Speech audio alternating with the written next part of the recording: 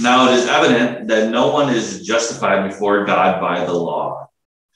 For the righteous shall live by faith. But the law is not of faith. Rather, the one who does them shall live by, by them.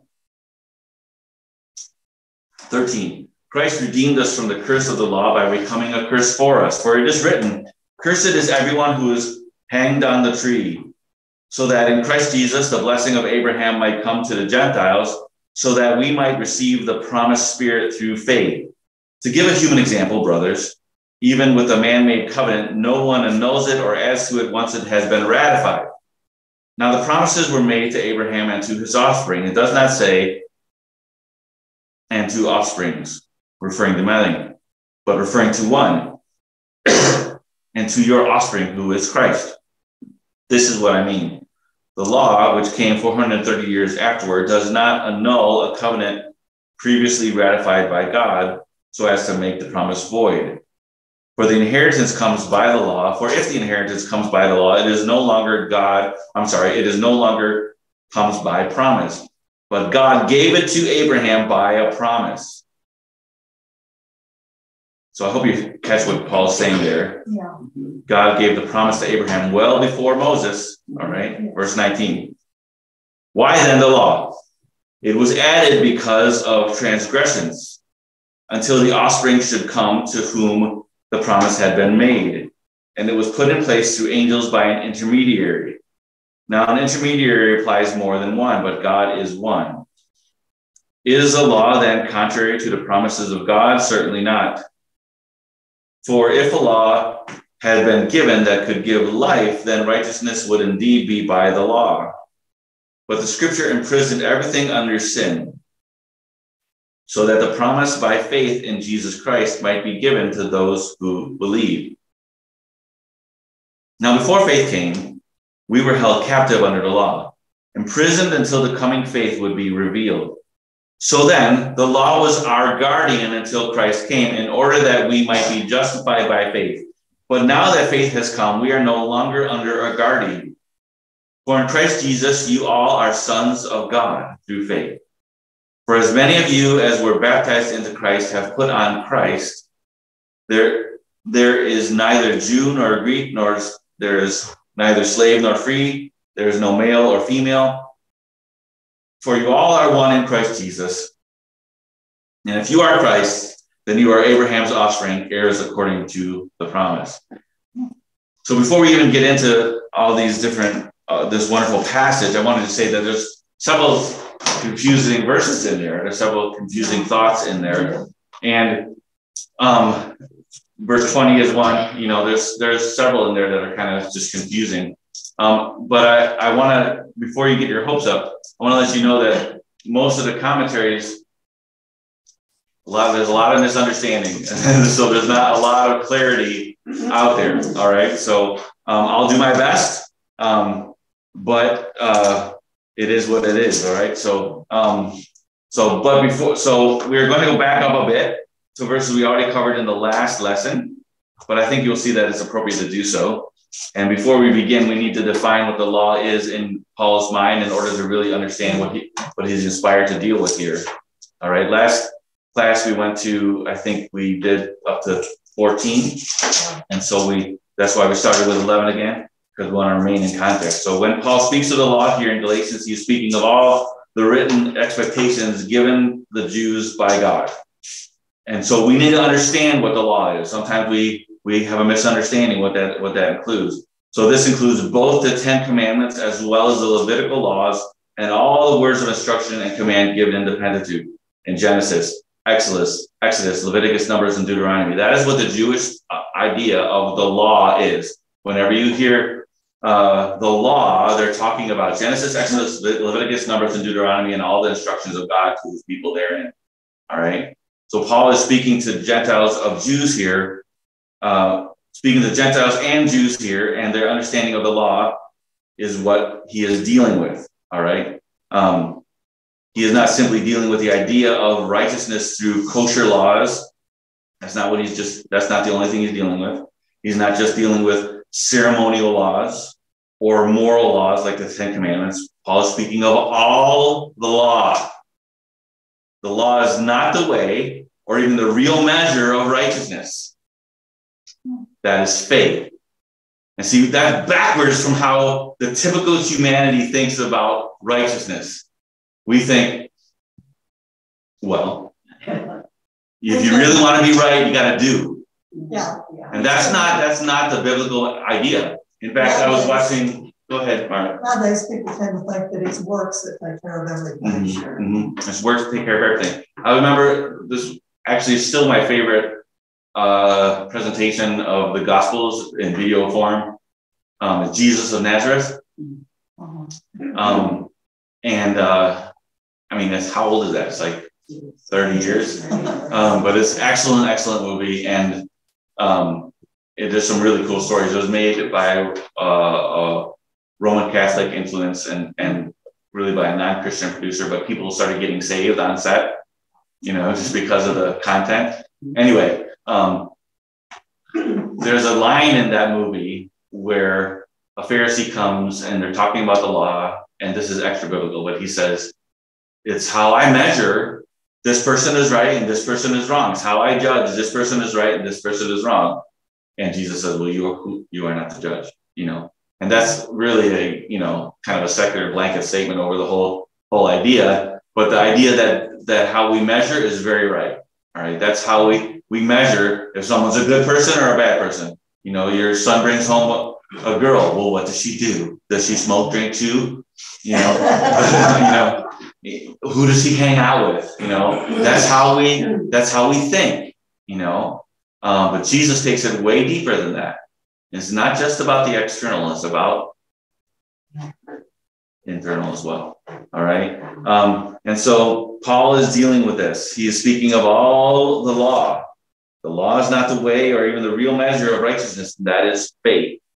Verse 11. So now it is evident that no one is justified before God by the law, for the righteous shall live by faith. But the law is not of faith. Rather, the one who does them shall live by them. So that's that's kind of a, another place of confusion right there.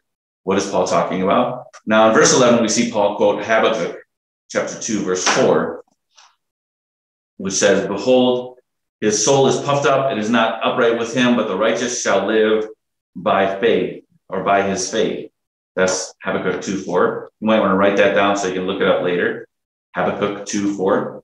Uh, Douglas Moo, who is a, a, commentator on, on Galatians and a professor, a scholar, a translator, he's, he points out that this verse is, a, is fascinating. Habakkuk 2 4 is fascinating, and different versions of the Old Testament have different forms of the text and the variations in the pronoun. In the Hebrew, it reads, The righteous by his, the righteous ones, faithfulness will live. The righteous by his faithfulness will live.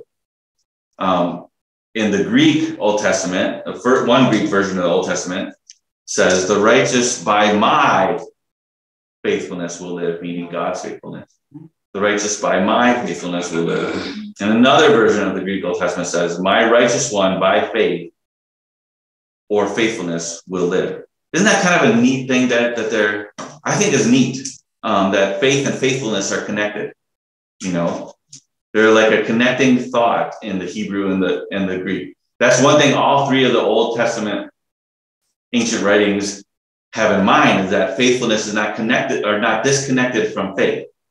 All right. Faith and faithfulness are connected in that verse. All right. The righteous shall uh, by his faithfulness will live. The righteous by my faithfulness will live. My righteousness by what by my righteous one by faith slash faithfulness will live. All right. Um, so Paul abbreviates abbreviates it to the one who is righteous by faith will live, or the one who is righteous will live by faith. Uh, so you cannot be sure what the prepositional phrase uh, modifies in Paul's version. All right. Um, so Paul's use of Habakkuk is to, to remind his readers that just as belonging to Abraham is by faith, so too righteousness is not by law, but by faith. Okay, so let's say that again. I'm going to read that sentence again. Um, Paul is reminding his readers that belonging to Abraham is by faith. We, we read that. We know that, that it's, um, it's by faith, not circumcision that that, that God gave the promise to Abraham. All right. And so you're really connected with Abraham through faith, not by circumcision, which the Judaizers are trying to promote. And so too, so also, you are righteous just as Abraham was by faith. Because the law wasn't even given at that time. Okay. So Paul is defeating at every turn the arguments of the Judaizers. To be Abraham's child, you need to be circumcised. No, to be Abraham's child, you need to have faith. To be righteous, you need to keep the law. No, to be righteous, you need to have faith. All right. So no, um, just a note here. I do not, I do though find it interesting that the translators seem to vacillate, like I said already, between the words faith and faithfulness in Habakkuk. All right. Um, uh, so I think that's worth meditating on and, and studying. Uh, I'm not going to tell you the, the, the, reason that is, or or try to you know give a give a, uh, a thesis on that. I, I, just find it interesting. All right, and it's something we need to meditate on and study some more. So verse 13, Christ redeemed for for uh, I'm sorry, Christ redeemed us from the curse of the law by becoming a curse for us. I think I skipped past 12 there.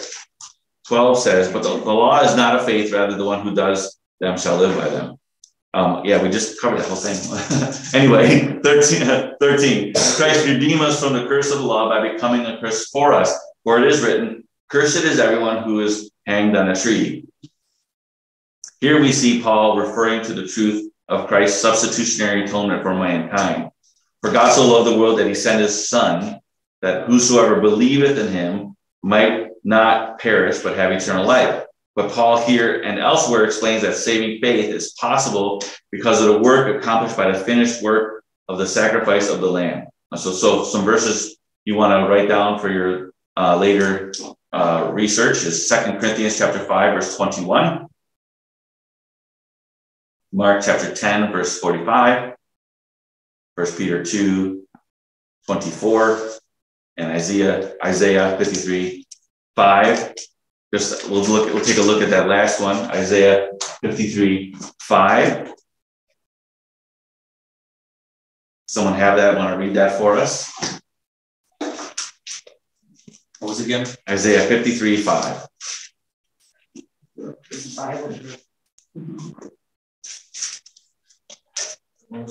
But he was pierced for our transgressions, he was cursed for our iniquities. On him was the chastisement that brought us peace, and with his wounds we are healed. Upon him was the chastisement that brought us peace. Okay. Um, anyone else have another version? Yeah. Go ahead. New King James. But he was wounded for our transgressions, he was bruised for our iniquities. The chastisement for our peace was upon him, and by his stripes we are healed. We should actually go on to verse six. All we like sheep have gone astray. We have turned everyone to his own way. And the Lord has laid on him the iniquity of us all. Yes. So it's actually verse six that is your reference there. Um, the Lord has laid on him the iniquity of us all. And that's Second Corinthians 5.21. Who knows what that says? You should, this, is, this is one you should have memorized. Oh, yeah. For he, sin. Yes. For God made him who had no sin to be sin for us so that we might become the righteousness of God. That really is Galatians summed up. it's a wonderful verse. God made him who had no sin to be sin for us so that we might become the righteousness of God. All right. And so now Paul is citing here, he is citing in that cursed is everyone who is hanged on a tree. He is citing Deuteronomy 20, 21, 23, but he's doing so kind of loosely. Deuteronomy 21, 23 says, And if a man has committed a crime punishable by death, and he is put to death, and you hang him on a tree, his body shall shall not remain on the tree all night, or, his body shall not re- yeah, remain all night on the tree, but you shall bury him the same day, for a hanged man is cursed by God. All right. So what is happening here is different from crucifixion. What is happening in Deuteronomy is slightly different. The practice of the Greeks and other pagan societies was was uh, is what's going on here, uh, and and it's happening in, in uh, Jewish society as well. They would execute a criminal and then display his corpse on a pole. All right, and so God is dealing with that practice, and so this is um, this is not the same as the cross. Um, neither is the word tree, which is the word here in Hebrew. but translators don't think that think the word is talking about a piece of. I'm sorry, translators think that the word here is talking about a piece of dead wood used to display a corpse.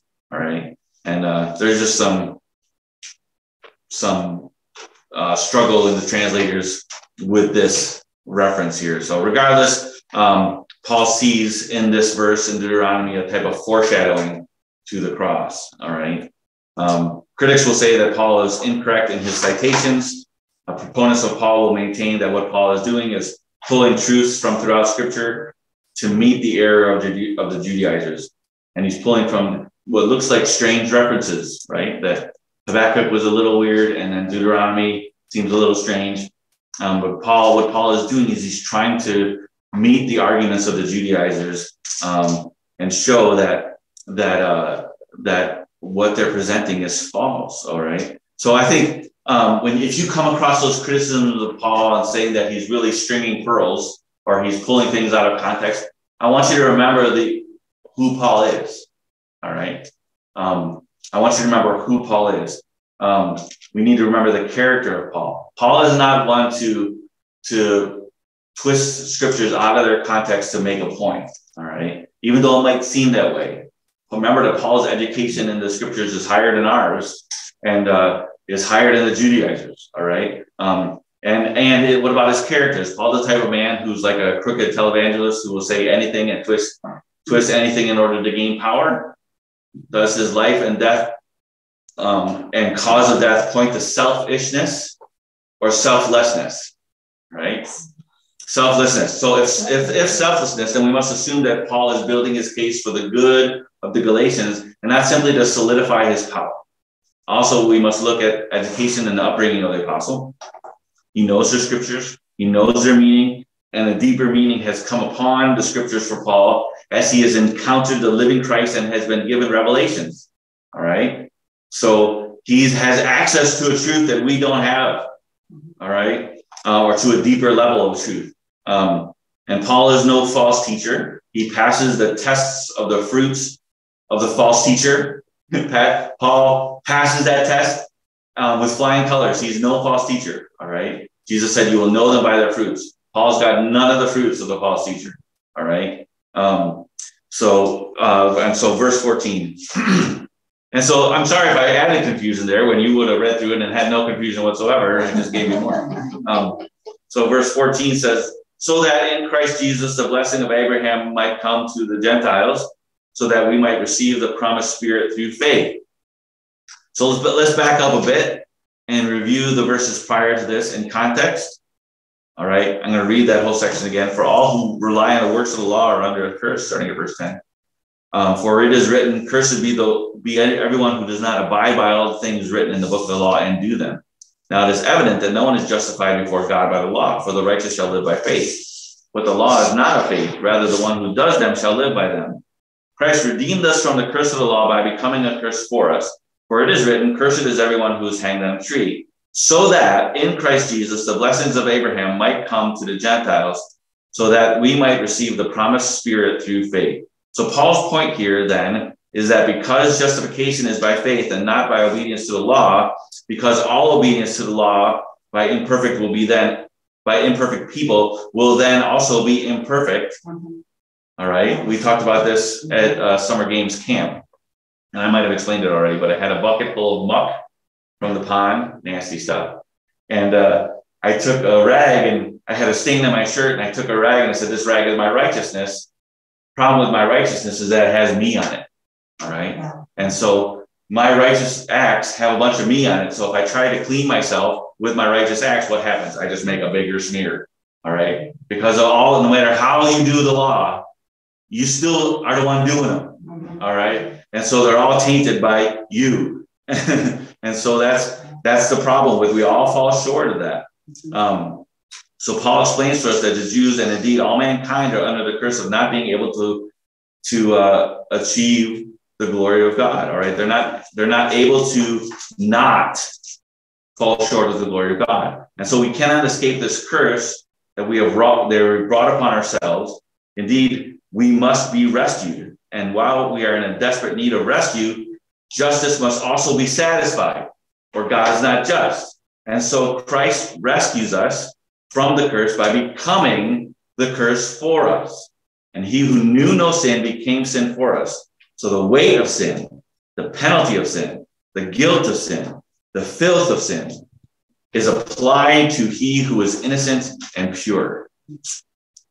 So Paul goes on, verse 15, to give a human example, brothers, even with a man made covenant, no one annuls it or adds to it once it has been ratified. Now, the promises were made to Abraham and to his offspring. It does not say, and to offsprings, referring to many, but referring to one, and to your offspring, who is Christ. This is what I mean. The, the law, which came 430 years afterward, does not annul a covenant previously ratified by God so as to make the promise void. The Greek word here, translated as offspring and offsprings, is usually translated as seed and seeds.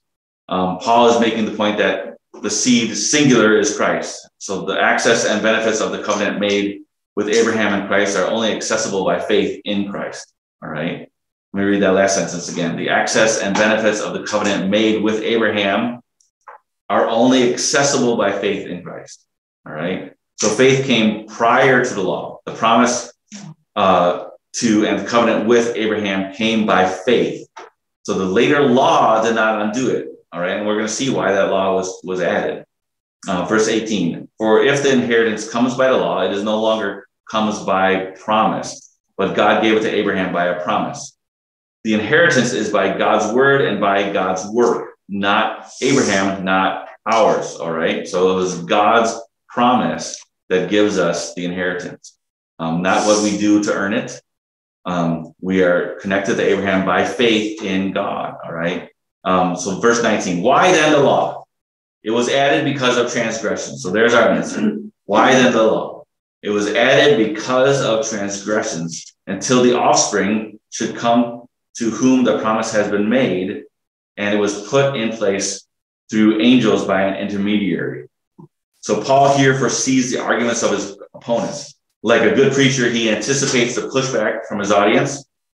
Uh, well, if it's by faith and faith came first and the law did not undo faith, why then the law? And so Paul's answering that because of transgressions. And so this is a debated point. So some scholars believe that we should be cautious in pointing to Romans to understand Galatians um, better because Paul is speaking to a different audience with a different point of point in both books. And I say this about Romans because we're going to look at Romans. All right. So um, Paul explains some things in, in Romans here. In Galatians, he is trying to convincingly defeat a heresy of the Judaizers. And in Romans, he is sought by many to be writing to unite both Jewish and Gentile Christians under one gospel. I tend to disagree with the concept that we cannot use one to establish the other since we know from Paul that all scripture is breathed out by God and profitable for teaching, for reproof, for correction, and for training in righteousness, that's Second Timothy, or yeah, Second Timothy chapter 3, verse 16. And we know from Peter that Paul's writings are to be considered scripture. That's Second Peter 3:16.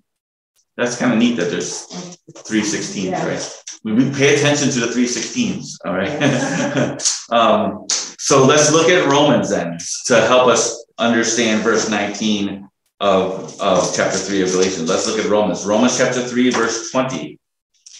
For by the works of the law, no human being will be justified in his sight, since through the law comes knowledge of sin. Right? And then look at Romans 4 15. For the law brings wrath.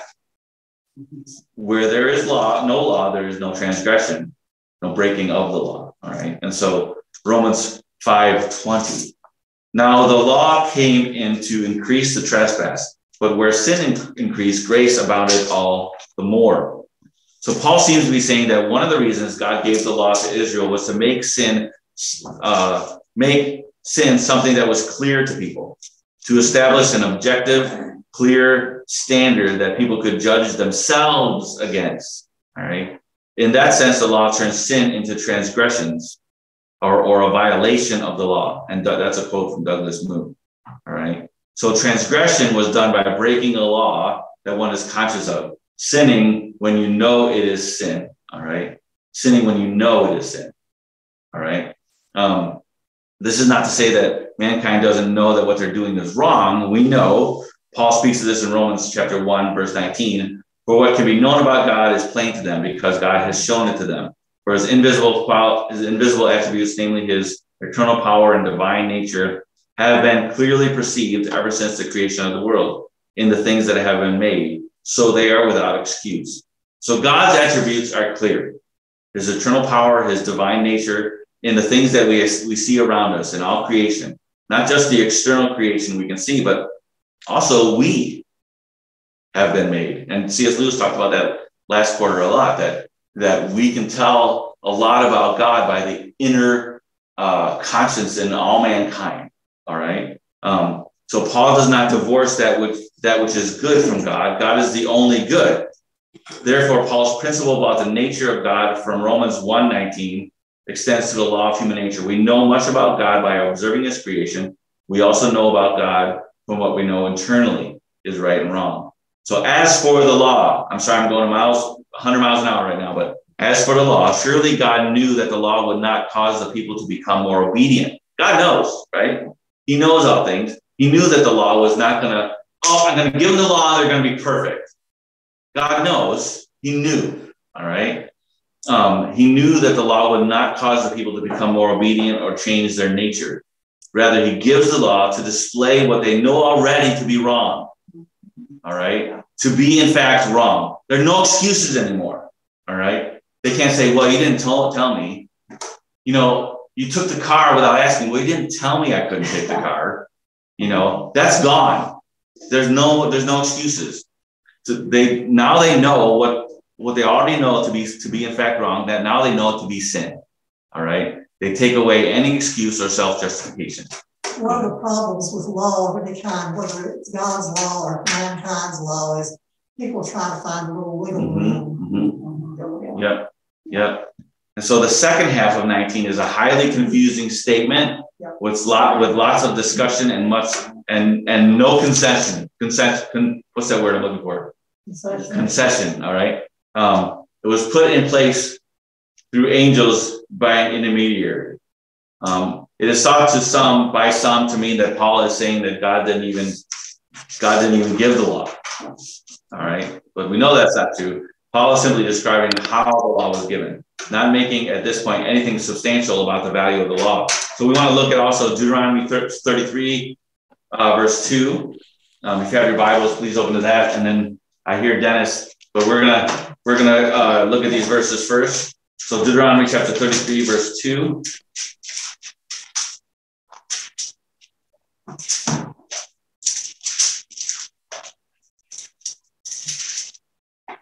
He said, The law came from Sinai and dawned from Seir upon us. He shone forth from the mountain Paran. He came from the ten thousands of the holy ones with flaming fire at his right hand. All right, so the law came from Sinai. So Acts chapter 7, verse 53.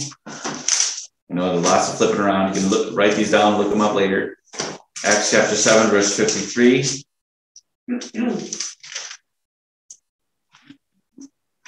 you received the law as delivered by angels and did not keep it.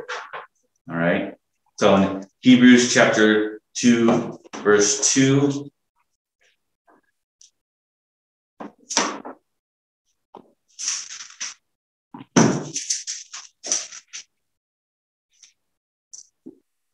For since the message declared by angels proved to be reliable, and every transgression or disobedience received a just retribution.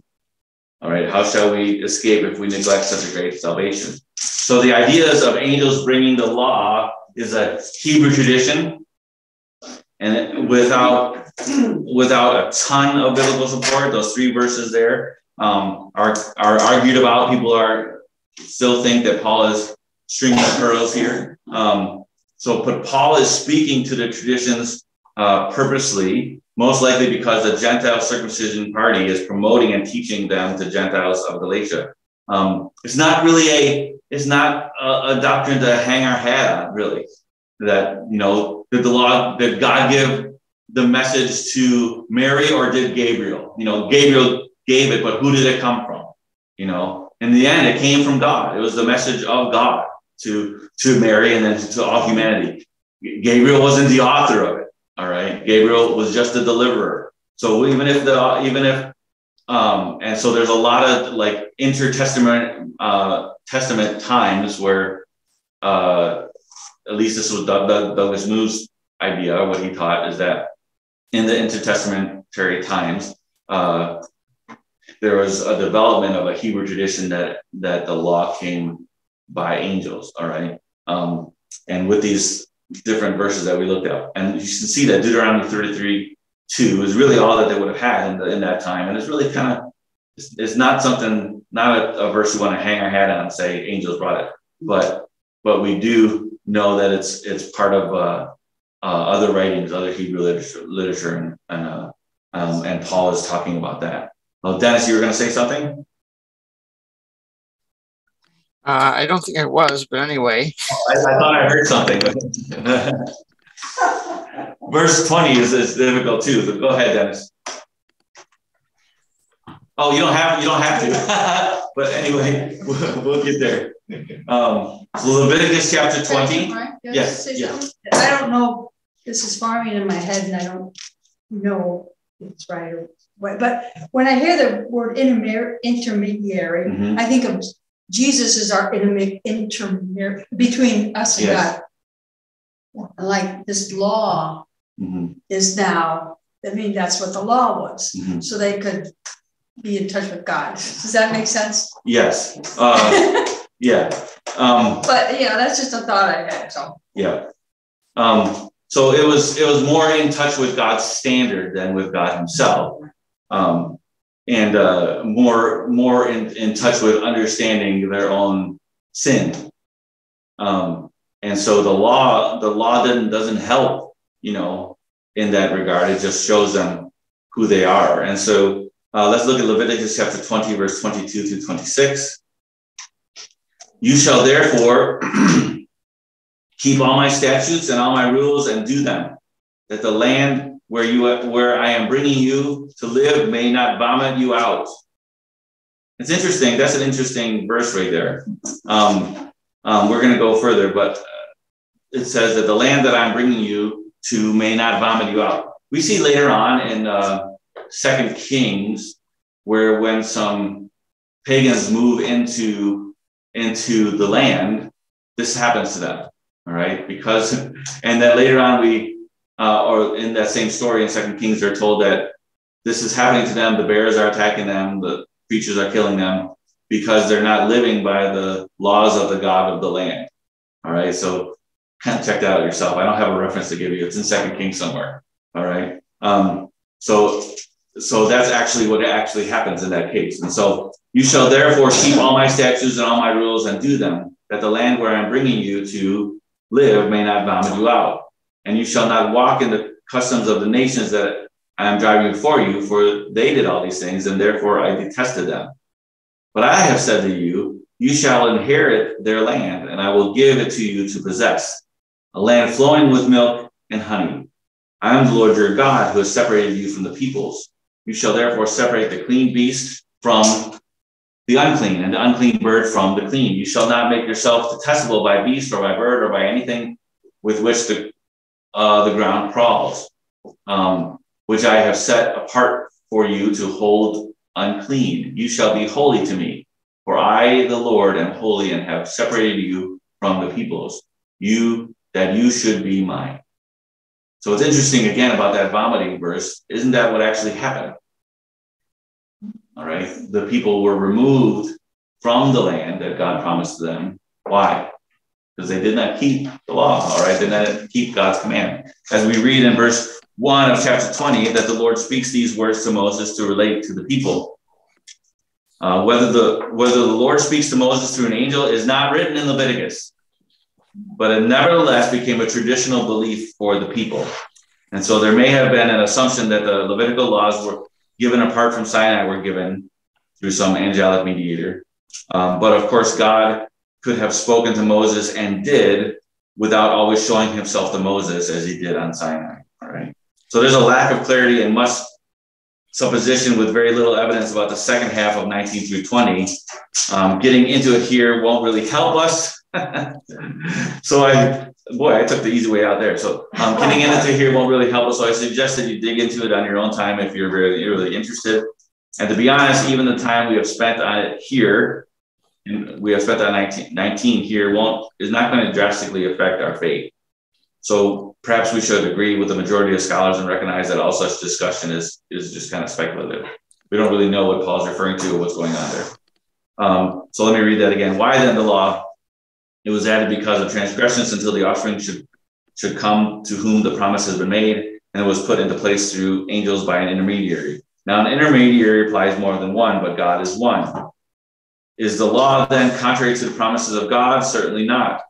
For if a law uh, had been given that could give life, then righteousness would indeed be by the law. So moving on to verse 21 then.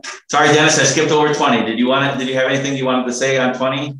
Because it is rather a strange statement. It, still strikes me as uh, strange, um, but uh, I don't think we're going to come up with a, a much clarification on it right now.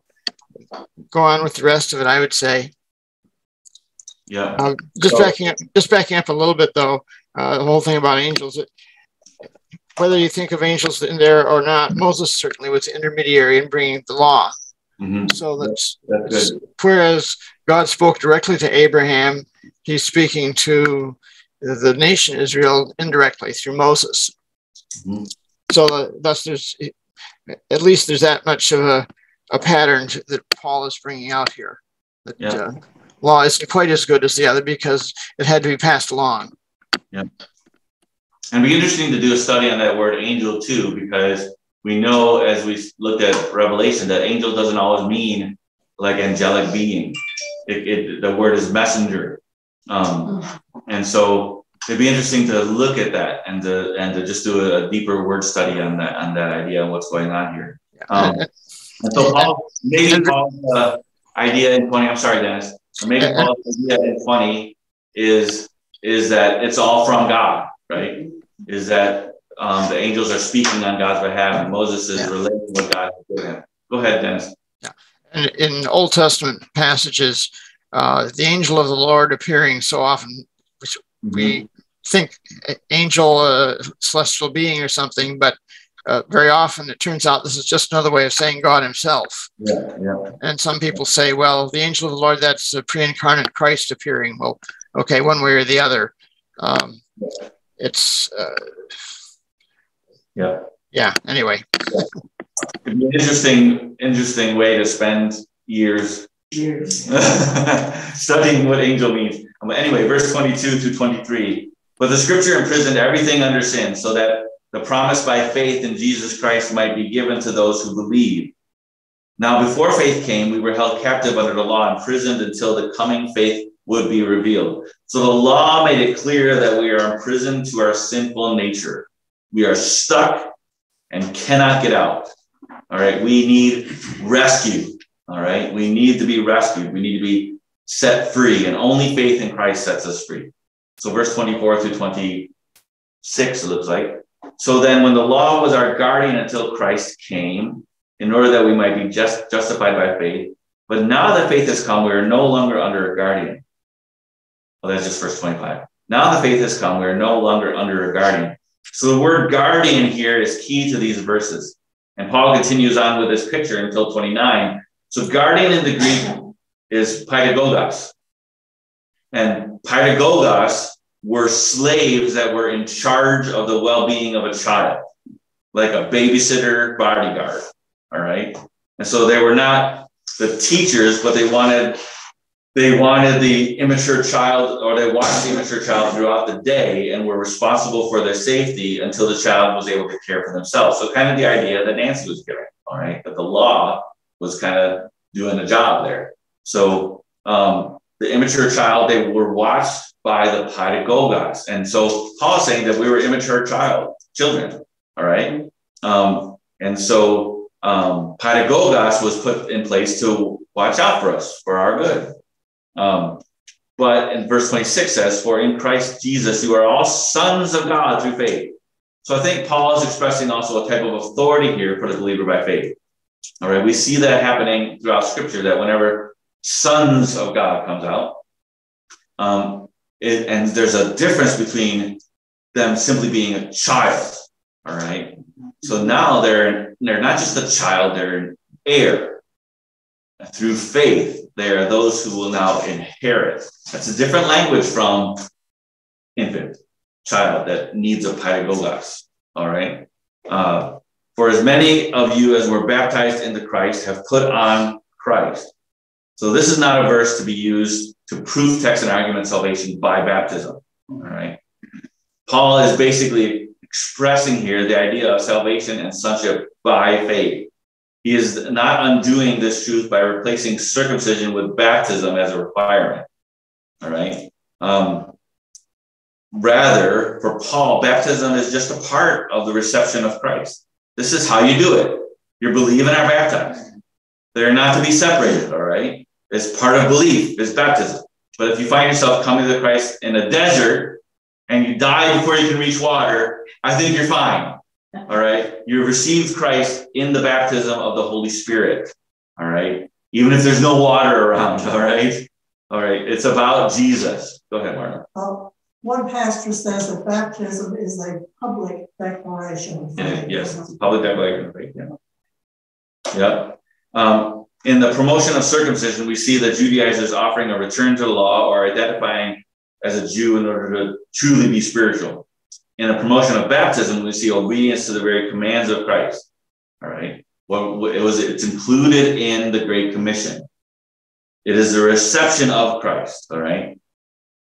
So you can't, and so this is this is where I have some problem with people taking what Paul says in Galatians and going too far with it. All right. And they say, all I need to do is come to Christ as a five year old, and then I get to do whatever I want for the rest of my life. That's not what's going on here. That's not the faith that Paul ever, ever preached. All right. Um, coming to Christ and wanting nothing to do with actually following Christ cannot be true salvation. And that's not what Paul is advocating here. All right. If you if you say you've come to Christ and you want nothing to come to nothing to do with Christ, then you haven't come to Christ. Those who come to Christ can't get enough of Christ. We want more of Christ, even in the face of our own failure. We want more of Jesus. All right. If you don't, if you, oh, I'm a Christian, but I don't you know, I don't know. I, you got to really check yourself and ask yourself, are you really His? If you want nothing to do with them, are you His? All right. To be Paul, to or for Paul is, I'm sorry, for Paul it is self-evident. You are a Christian, you've been baptized. Period. All right. There's not this big argument about it. It's just the way it is. So there's neither Jew nor Greek, nor slave nor free. There's no male and female, for all are one in Christ Jesus. And if you are Christ, then you are Abraham's offspring and heirs according to the promise. So he's still in this idea of pedagogos, right? That we are beyond that. We're, that's no, that's what we were under the law. We were infants needing needing the pedagogos, but we're not that. Now we're heirs. Isn't that awesome?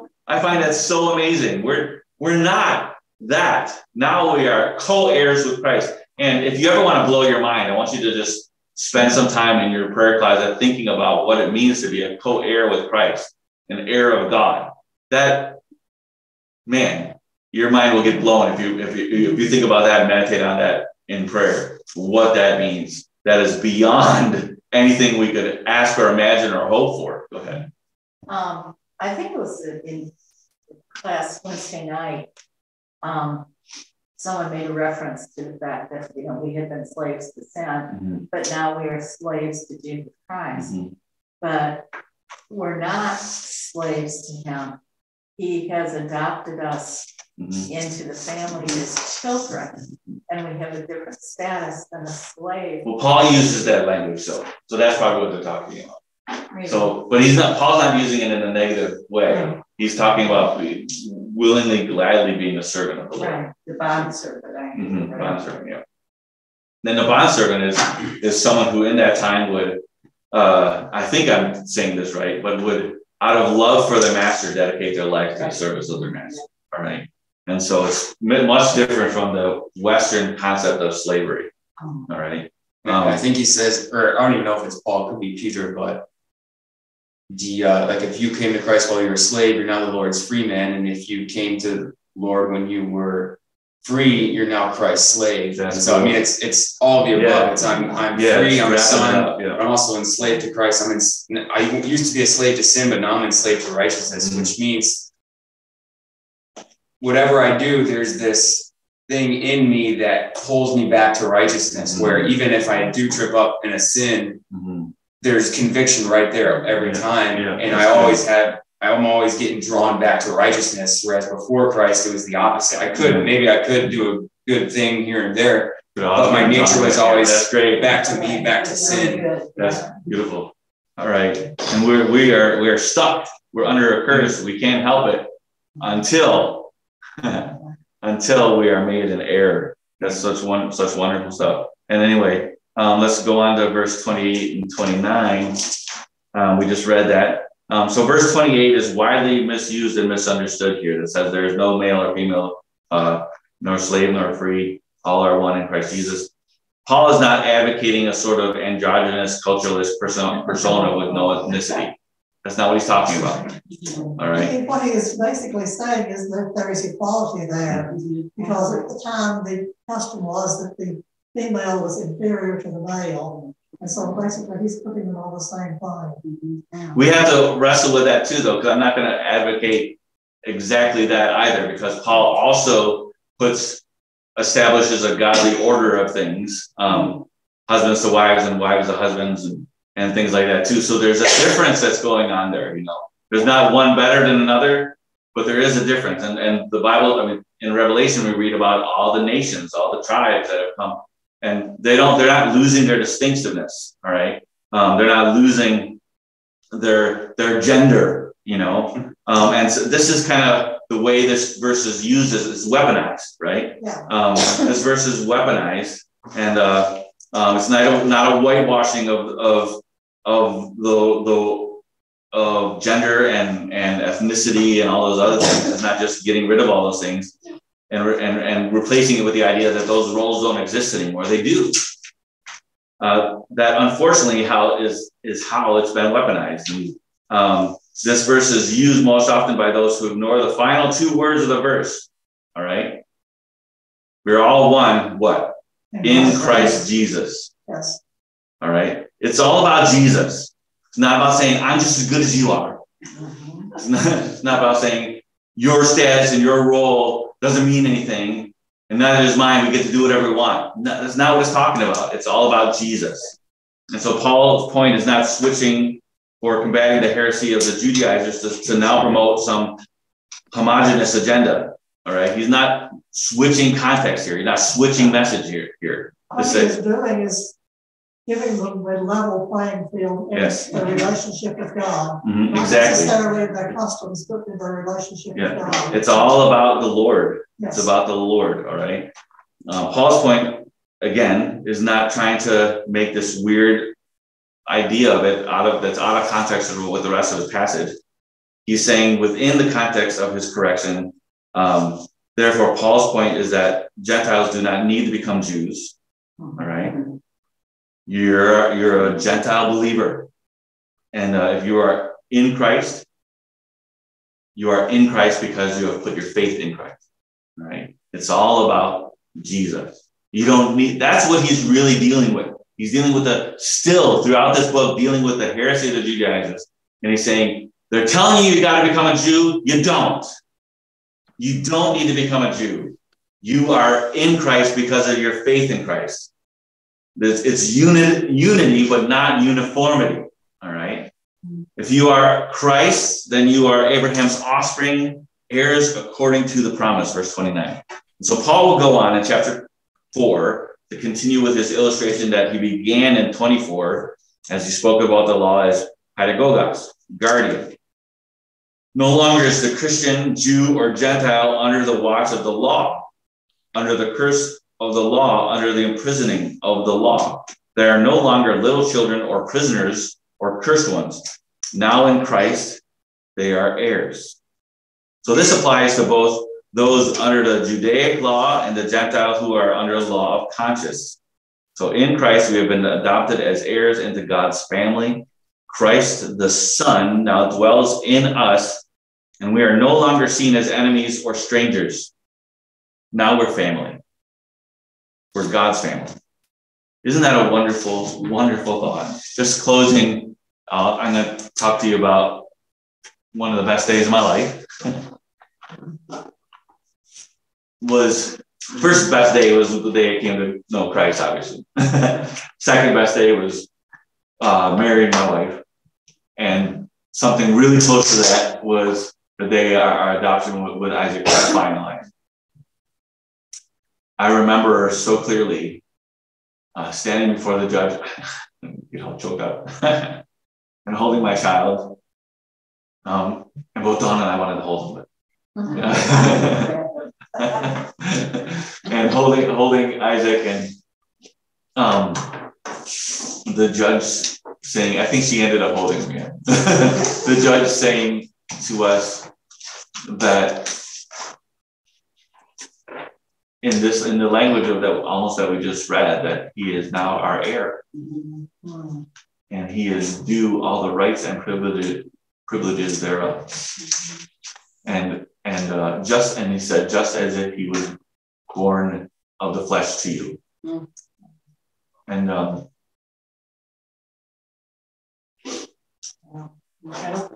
what an amazing day that was yes. and it was a joy in so many ways. And the words, just as if he was born of the flesh to you,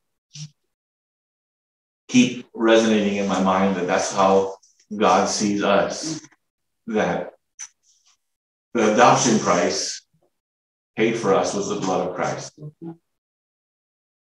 And now, because of the blood of Christ applied to us, we are adopted into the family of God. Mm-hmm.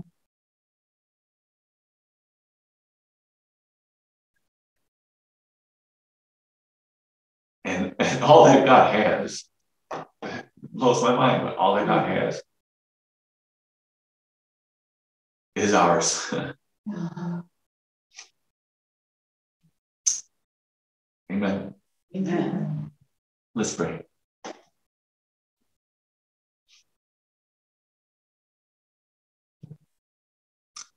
Lord Jesus, we thank you that you paid our adoption price.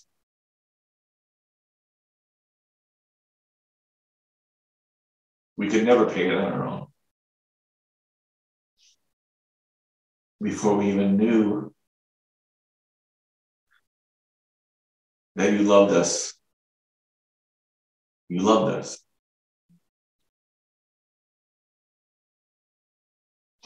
Before we even knew our need, you paid for it.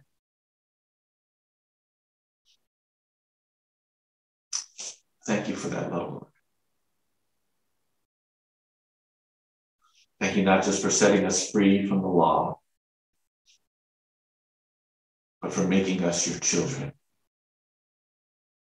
That by the Spirit we now cry, Abba, Father. Thank you, God. Thank you, Father.